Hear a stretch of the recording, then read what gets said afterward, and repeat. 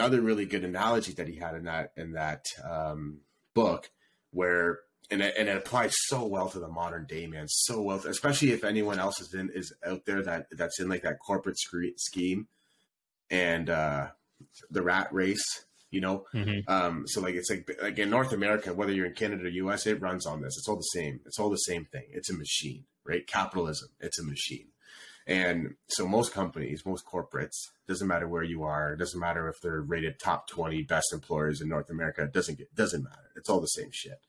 You got so basically when you have a business, you got two ways to run your business. The most common ways you can run it as a machine as an it's a picture an engine, a vehicle engine, right? So you've got you've got your Ford F one fifty and it's running twenty four seven.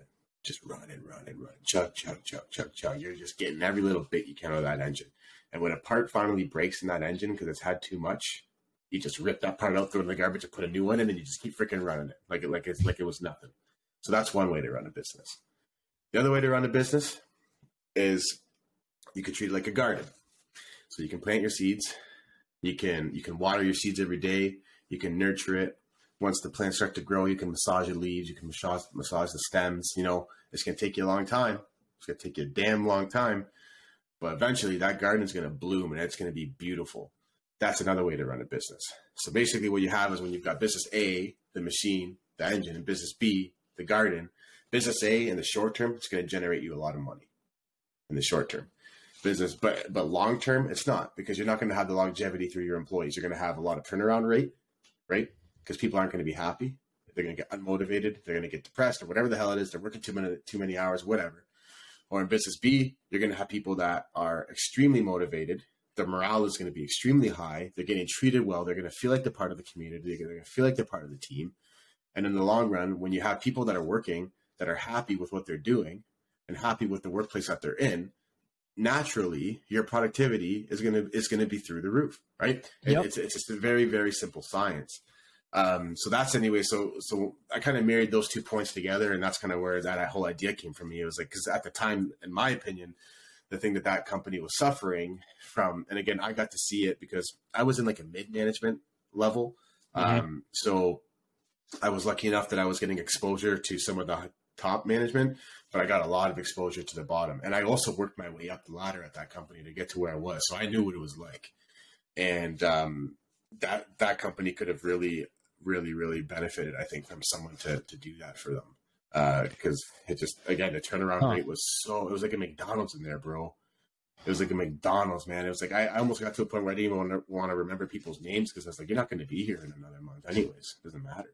Do you think that when you're lining people up and you're, you get this information and you put it into whatever buckets you put it into, is that do you think it's a good management tool too to figure out what strategies would be best to manage and coach somebody going through? Like once you find those things, hundred percent, man. Like honestly, when I started managing those the team of the like the team of like when I had like three, I think at the most I ever had was, I think it was just three, four guys, four guys underneath me, and all gone, baby. Actually, I actually gotta go. I gotta go to refill. Actually, um, I uh, so when I was managing those guys, on my own time when I would get, when I was at home, I would actually I would on my computer I kept a list and like each individual each individual employee I had working under me I kept a list and I just I just wrote stuff down about them. What are they like? What are they not like? What are they good at doing at this company? Like uh, in their role. What are they not good at doing in this role? Why are they not good at doing it? Or why are they good at it? Um, you know, and then again, I, I like some of the personal stuff that they that they would like they liked. I, I kind of took that down. Um, like you know, for example, the one guy um, he was really outdoorsy.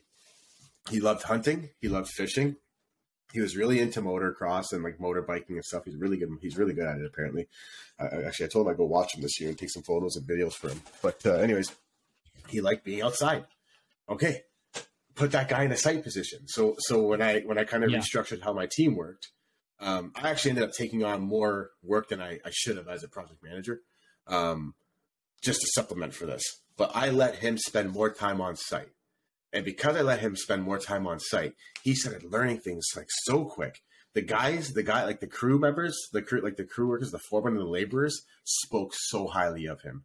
And they did not speak highly of people at that company, man. They did not like like. Anyways, they loved that kid, and and man, he did so freaking well. like the the uh, the upper management, they loved him. At one point, my boss, who was at the time that he was the construction, he's actually the general manager now, but he was the construction manager at the time. He literally said, "This is the best project coordinator that we have. The very best mm-hmm. project coordinator that we have in the office is this kid." And like and and I honestly believe is because I just I put him I oh, I didn't even put him there. I let him be in the position that he wanted to be in, right? And he still did all of the stuff he had to do on the back end. That man, that kid that kid would stay until eight or nine o'clock at night. We would start at 6 30, 7 o'clock in the morning. And we were there because the project we were running was crazy. It was busy, and we were grinding. Me and and that and the co-op man, same thing, bro. Like Mikey, he was hourly, right? So he was freaking caking. But but uh man, those guys, man, every and it was funny too because because like people used to be like, man, why are you still here? Like, why do you stay here so late? Like none of the other PMs are doing that. I was like, how am I gonna let my freaking the two guys that are working under underneath me freaking work until nine o'clock at night and I'm gonna go home at five thirty? Yeah, right, man. I'm gonna stay here too. I'll, I'll, I'll, be right in the trenches with them. I didn't really want to do it. I'd rather live my life, but yeah. whatever, man. These two guys are grinding they were trying to make something of themselves and, and they're at the early and i was there too you know when i was 21 years old when i was 2019 working at some of these companies bro i was working 70 80 hours a week again same thing i was hourly so i was making good dough um, you know but like but and my managers used to i now i've been lucky i've had amazing managers in my life man amazing managers in my life um, that's probably why you want to do that back you want to reciprocate that back to 100% everybody else Hundred percent. I would, I wouldn't, I wouldn't be where I was today without them. The the one, the one manager, he's one of my best friends. If I get married, he's going to be up there with me. You know, like, and he's freaking. He just turned sixty on Friday. you know, he's thirty years older than me. It's crazy. Um, but uh, yeah, man. So yeah. Anyways, it was just interesting putting him in that. Like I said, we put him in that position, and he, and he did so well. And then the same with the other kid, the co-op student. He was just really good on the computer, man really freaking good on the computer. He liked going out the site. He liked getting out there, so I let him go whenever he needed to. And plus, that's how, like in the construction industry or anything else, that's how you learn. You see things, your hands on, you know, like you're yeah. touching things, you're seeing things move. And like every day you go to the site and something, it's like a river. It's like something's changed, man. It's never the same. Day by day, it's never the same. Um, so you just you just really start to learn things. Um, so so anyways, he, he he did that stuff, but like man, on the computer, he was really good and uh, I just I just let it like I didn't micromanage him. You know, I just I let him do his thing. I let again I had to supplement. I had to do things that they both probably should have been doing that other coordinators were doing. Um, that I just took over on my own uh, to just make sure because obviously they still had to get done.